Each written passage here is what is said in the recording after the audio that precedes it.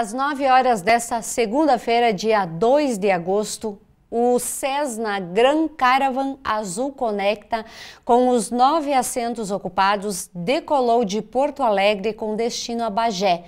tornando o Rio Grande do Sul o estado mais conectado por rotas regionais do país. A partir desta estreia, a companhia aérea inicia voos da capital também para Alegrete, Canela, Erechim, São Borja, Santa Rosa, Santa Cruz do Sul e Vacaria. A solenidade de início dos oito novos destinos ocorreu no saguão do aeroporto Salgado Filho, com a presença do governador Eduardo Leite, do vice-governador Ranolfo Vieira Júnior, de secretários, deputados e representantes da Azul e da concessionária Fraport. Em Erechim, a solenidade que marcará os voos acontece na próxima quarta-feira, às 11 horas e 15 minutos, no Aeroporto Municipal Comandante Kramer. A solenidade será restrita para autoridades e para a imprensa. O Estado tem um programa de incentivo à aviação regional que reduz o, o ICMS sobre o querosene da aviação, estimulando as companhias aéreas a fazer essas rotas para o interior.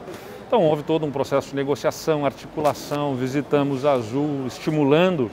que ela pudesse ampliar as suas rotas no estado e a gente assiste isso acontecer agora nesse dia 2 de agosto para diversos destinos no interior, tornando o Rio Grande do Sul o estado com o maior número de ligações regionais por via aérea no Brasil. Isso é um diferencial competitivo, sem dúvida nenhuma, porque além de aproximar né, nas nossas instituições de ensino, aproxima as regiões mais distantes no desenvolvimento. É decisivo, sem dúvida nenhuma,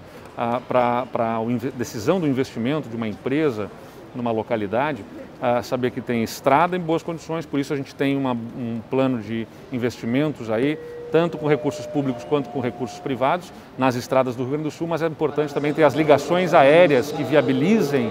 uh, o acesso dos executivos né, e de compradores, de uh, aqueles consumidores, aqueles uh, que vão negociar com essas empresas. É importante ter a ligação aérea também, isso vai fazer o nosso estado se desenvolver mais em todas as regiões.